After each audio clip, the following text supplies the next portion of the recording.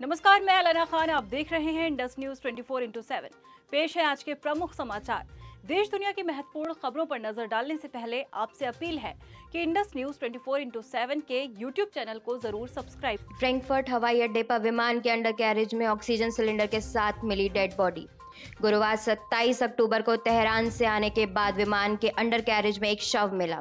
Germany के सबसे बड़े शहर फ्रैंकफर्ट के हवाई अड्डे पर सामने आई इस घटना से सुरक्षा टीमें भी दंग हैं। हवाई अड्डे के सुरक्षा अधिकारियों ने एक बयान में कहा कि सुबह साढ़े पाँच बजे रखरखाव जाँच के दौरान स्टाफ सदस्यों को एक पुरुष का शव मिला। उन्होंने इस बात का दावा किया है कि शव उन्हें बगल में रखे एक ऑक्सीजन सिलेंडर के साथ मिला था।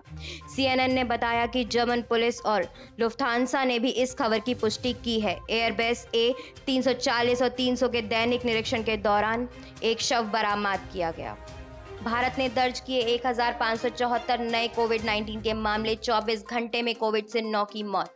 केंद्रीय स्वास्थ्य मंत्रालय के आज के आंकड़ों के अनुसार कोविड के एक हज़ार पाँच सौ चौहत्तर केस दर्ज किए गए हैं। इसी के साथ भारत में कोविड 19 मामलों की संख्या बढ़कर चार करोड़ छियालीस लाख पचास हज़ार छह सौ बासठ हो गई, जबकि सक्रिय मामले घटकर अठारह हज़ार आठ सौ दो हो गए हैं।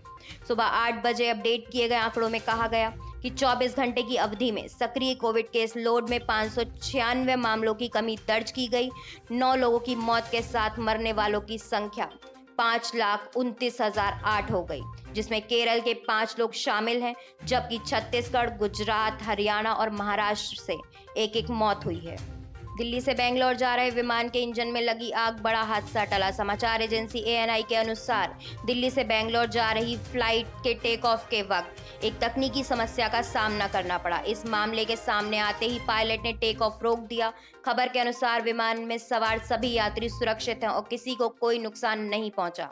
ये भी बताया गया कि बाद में किसी दूसरे विमान में यात्रियों को बेंगलोर भेजा गया। इस विमान में 177 यात्री और चालक दल के सात सदस्य सवार थे। इंडिगो ने भी एक बयान जारी कर इस वाक्य के बारे में बताया है। करेंसी पर लक्ष्मी गणेश की फ़ोटो की मांग पर क्या बोले केंद्र मंत्री अनुराग ठाकुर? केंद्र मंत्री और बीजेपी नेता अनुराग ठाकुर ने मुख्यमंत्री अरविंद केजरीवाल की नोटों पर लक्ष्मी गणेश की फ़ोटो छापने की मांग को प्रोपेगेंडा बताया। उन्होंने शनिवार को प्रेस कॉन्फ्रेंस में कहा कि जिन्होंने राम मंदिर का विरोध किया हिंदू देवी देवताओं का अपमान किया। उन मंत्री को बर्खास्त करना पड़ा। अरविंद केजरीवाल अराजकता का प्रतीक बन गए हैं। उन्होंने अब एक नया प्रोपेगेंडा शुरू किया है ताकि उनके भ्रष्टाचार पर चर्चा ना हो।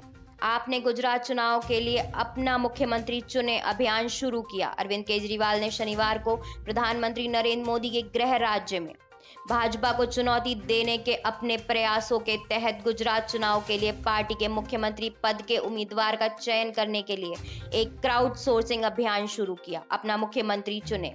अभियान दिल्ली के मुख्यमंत्री का नया प्रोजेक्ट है, जो राज्य में आक्रामक रूप से प्रचार कर रहे हैं। रैलियाँ और टाउन हॉल आयोजित कर रहे हैं और मुफ़्त बिजली, बेहतर शिक्षा और स्वास्थ्य सुविधाओं जैसी चुनाव पूर्व वादों की मेजबानी कर रहे हैं। वंदे भारत ट्रेन, फिर दुर्घटनाग्रस्त ट्रेन का अगला हिस्सा टूटा गुजरात में। एक बार फिर से semi high speed train Vande Bharat express हादसे का शिकार हो गई। यह हादसा वलसाड के अतुल रेलवे स्टेशन पर हुआ। वंदे भारत एक्सप्रेस ट्रेन के सामने एक गाय आ गई। गाय के टकराने से वंदे भारत एक्सप्रेस का अगला हिस्सा क्षतिग्रस्त हो गया है और पानी की आपूर्ति भी बाधित हो गई है। जानकारी के मुताबिक उस समय वंदे भारत एक्सप्रेस वलसाड के अतुल रेलवे स्टेशन से गुजर रही थी कि अचानक ये हादसा हुआ। आपको हमारा ये बुलेटिन कैसा लगा? कोई सुझाव और प्रतिक्रिया देना चाहते हैं तो कमेंट बॉक्स में लिख सकते हैं। आपके सुझावों का स्वागत है। आप हमें फेसबुक ट्विटर इंस्टाग्राम डेलीमोशन पर भी फॉलो करें और इंडस न्यूज़ के टेलीग्राम चैनल से जुड़ सकते हैं।